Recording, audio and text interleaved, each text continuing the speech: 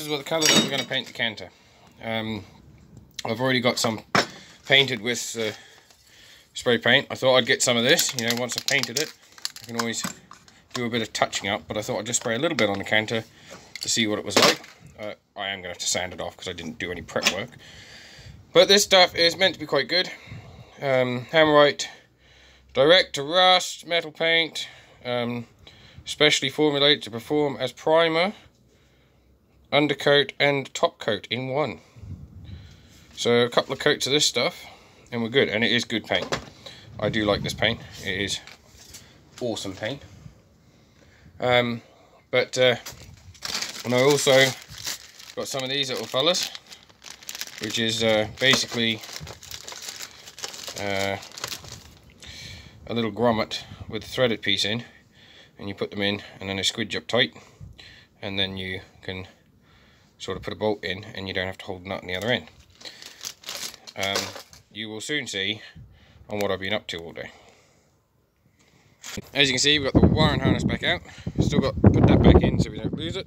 The little grommet piece. Um, a little bit of a test, and I thought, you know, if you're going to do a proper test, it was a bit windy, so I sort of um,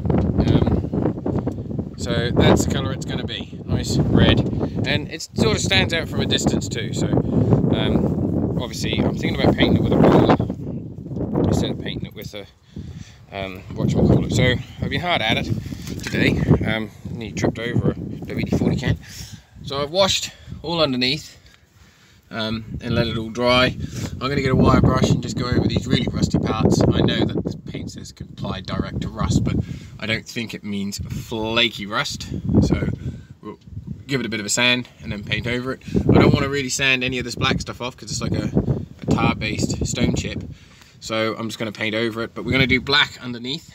Um, and also going to paint uh, probably this bit black right along to here, all that black underneath. Um, just due to the fact that it'd be easier.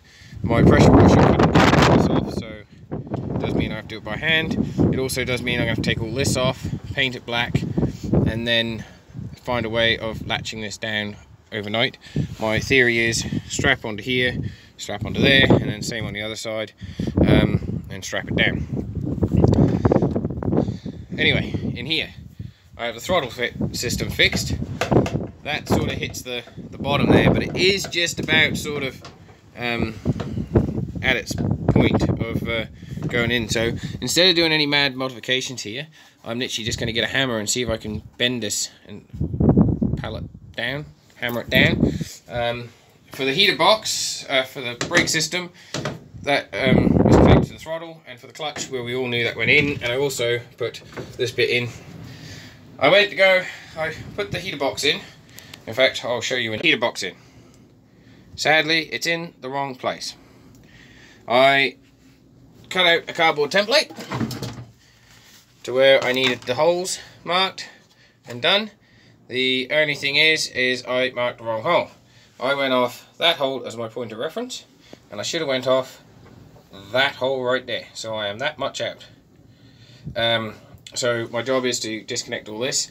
And the reason being is how I know I'm that much out is because this bit that goes onto here, like so, um, is out that much which is roughly the same distance that it's out on um, that hole. So what I'm going to have to do is I'm going to have to try and work out on exactly where it needs to go. So that's my plan right now. I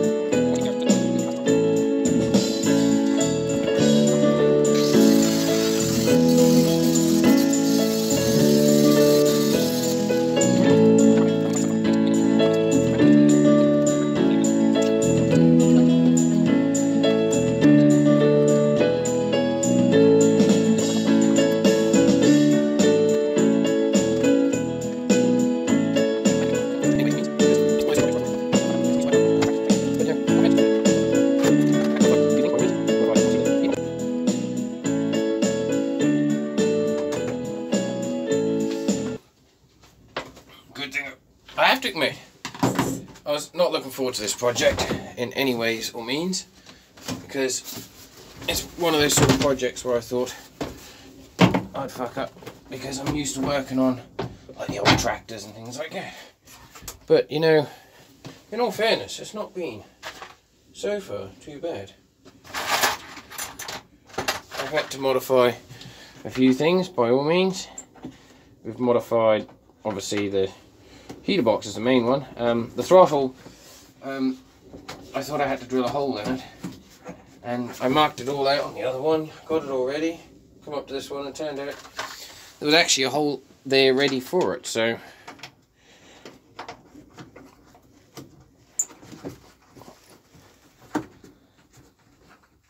So that's the heater thing all fit. I really do think that should be a snugger fit than that though. But hey I don't know. Um, I've got to take all this apart and try and get a hoover or something in there to try and get the glass out. So that is another pain in the ass thing I've got to do. But guess what? It's in there. It's not in there very good because I need the top dash piece to go in to sort of hold it all in place. Um, but it's in there. So the next plan is this throttle foot pedal thing. And yes, I've got to sort out that hole and file it all up and get it all sorted. Do I sort that out or do I not? This is the million dollar question and I'll try and set these up so you can see. I'm not working very well at the second.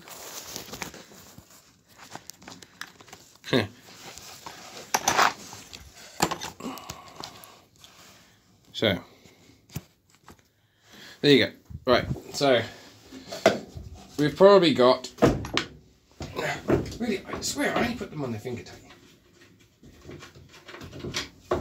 So, like this, goes down to there. In there, it probably lifts up.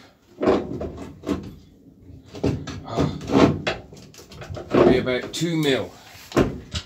I don't even think I'm going to worry about it because I think it's more going to be cause more problems than it is anything else.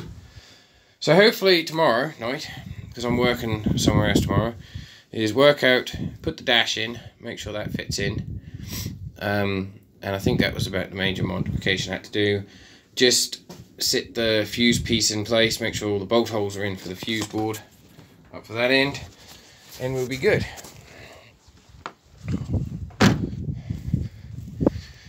These line up absolutely perfectly. So yeah, this I might have to file a little bit out of the top up there. I don't know if you can see, there you go.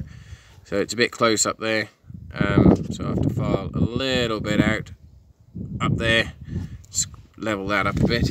Um, I'd like to black these holes off. Um, I also would like to make a bung to go in there. I can get the hose onto that one easy enough um, to pop down was a little rubber hose that just sort of hung down just to I guess drain any moisture or anything out. And I think that was about it really. Um, I think it was pretty good. Um, she looks good on this side so we just got to make sure that we've got a place to bolt the heater box uh, the fuse board next. Um, that's the next must and that's got to be the case of bringing the whole wiring harness in just to set it up um, just to see if it fits in. But first of all we'll put the top dash piece in. Um, put the ankle pieces on there put all the top dash piece in. All this is only going in finger tight. Then once we get it all worked out we'll give this inside another pressure washer and a good clean. Paint all the inside the outside I'm not too worried about at the moment because if I have to I could then use it and paint the outside as a, another bit of a project. But that's Monday's job done. Tuesday's evening's job because I'm working tomorrow. I'm pulling, well, we done a, a, chimney job, pulled down a chimney. Now we've got to go back. Now the builders have been in and done one of the rooms out. We've now got to go in and finish the job that we started um, by digging out the chimney at the bottom, which I think is going to turn out to be a bigger job because they, carpenters, when they originally done it, only put plywood, uh, plasterboard, sorry, um, underneath the where the stove used to be. So all the old soot that was in the chimney oozed down, gone onto it, and as you can imagine.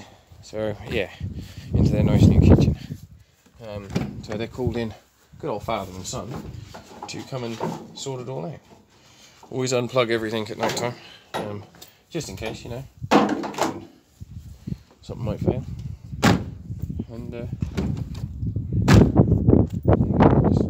door shut so beautifully. So thanks for watching. Please don't forget to comment, rate, and subscribe. And uh, don't forget to let me know what you think about certain little things I commented on there. Do I sort the throttle piece out, or do I leave it? Um, personally, I think I'm going to leave it. But unless you think I should consider it, the floor mat is not very thick. It's only a couple mil, so I don't think it's going to make that much difference. And how often do you put your foot to the floor? So we will catch you in the next one. As you can see, 6610 still hasn't gone because I haven't taken it away yet. So catch you later.